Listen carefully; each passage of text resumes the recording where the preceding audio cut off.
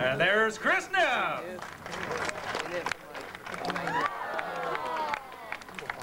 It's always exciting, and you always will see something that you